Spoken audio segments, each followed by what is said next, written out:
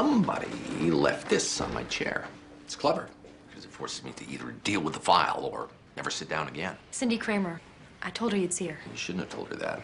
She's got metastatic squamous cell lung cancer, six months tops. Have you even looked at the x-ray? No, just guessing. It's a new game. If I'm wrong, she wins the stuff bear. A spot on an x-ray doesn't necessarily mean that she's terminal. I love children.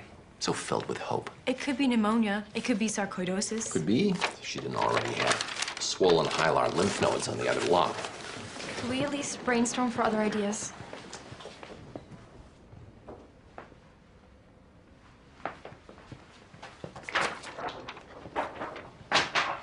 Thank you. I still think pneumonia and sarcoidosis, but we should check for tuberculosis and definitely rule out congestive heart failure. Five stages of dying. Exactly. Personally, I think it's all just new age crap, but from your tear filled puppy dog eyes, I think I made my point. Now go tell Cindy, whatever her name is, that she's dying. Oh no.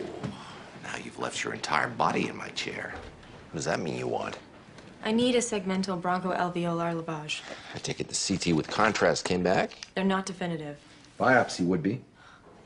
Biopsy would be invasive and unnecessary. And definitive. But you don't want definitive. You want to hang on to your delusions as long as you can. A lavage could prove it's not cancer. But you need me to approve the procedure. That must be a bitch. The answer is no. Why? Because it's me? I'm over you. I've jumped on the bandwagon. I hate you, okay?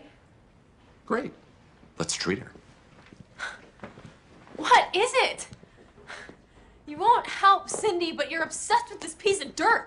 Are you just trying to prove that who someone is doesn't matter? That all that matters is your stupid puzzle?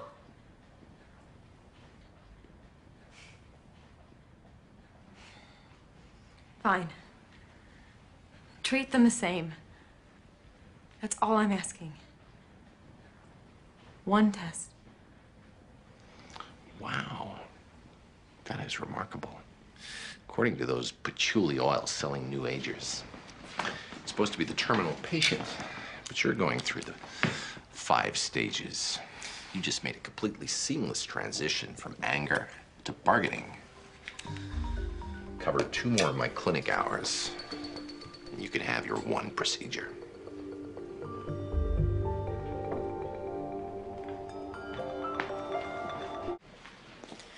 Cindy's divorced. She doesn't have any kids, no siblings. Both her parents are It's gone. not your job to be her friend. Do you understand? And it's not worth it.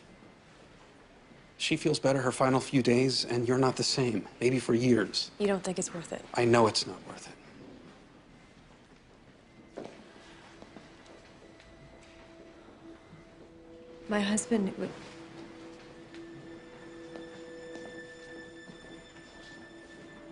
I met him just after he was diagnosed with terminal brain cancer. If I hadn't married him, he was alone. When a good person dies, there should be an impact on the world. Somebody should notice. Somebody should be upset. But you don't really care for music, do you? Well, it goes like this: the fourth, the it's just the a cough.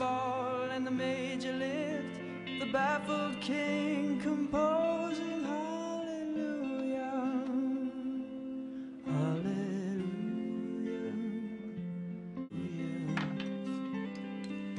And she tied you to her kitchen chair.